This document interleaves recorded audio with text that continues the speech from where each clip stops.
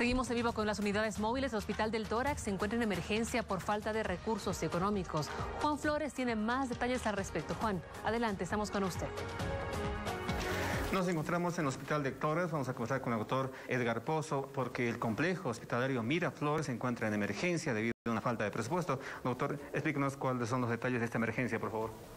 Sí, estamos sopesando pues una emergencia sanitaria, pero Toda emergencia de cualquier naturaleza tiene que tener un sustento económico financiero para poder enfrentar.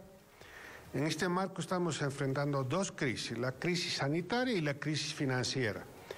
Nosotros como hospitales debemos funcionar para atender a la población con recursos de medicamentos, recursos humanos, insumos, laboratorios, medicamentos, etcétera, etcétera, pero eso tiene un costo y ese costo tiene que ser cubierto por la ley 1152 que establece que el Estado debe transferir a los hospitales primero el recurso y luego la atención a la comunidad.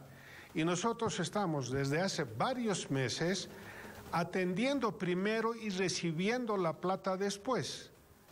Sin embargo, hasta el presente, que estamos a mediados del mes de mayo, Todavía no tenemos la transferencia de los recursos que ya debían habernos llegado hace dos meses y medio por parte del Estado.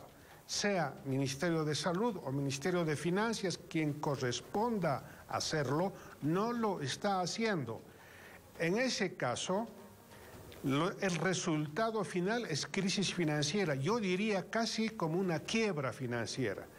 Anticipo, por lo menos el hospital del tórax, y estoy seguro que todos los demás hospitales del complejo vamos a eh, esperar cubrir nuestras necesidades y obligaciones hasta fines de este mes. No garantizo que el hospital del tórax trabaje normalmente a partir del primero de junio de este año. Doctor, se han enviado varias notas, ¿no?, al gobierno. Nosotros venimos haciendo permanentes comunicaciones tanto a la gobernación como al Ministerio de Salud para que por favor nos transfieran esos recursos y no lo están haciendo.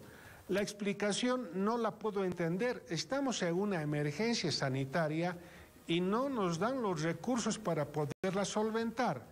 Esto, por favor, al señor ministro y al señor gobernador entiendan que necesitamos recursos para poder solventar nuestros gastos. No se olviden que nuestros hospitales ya no tienen ingresos propios como hace un año atrás, que por lo menos eso nos ayudaba a solventar nuestros gastos. Ahora no tenemos recursos propios, pero tampoco tenemos los recursos provenientes de la ley que debe ser cumplida por el Estado.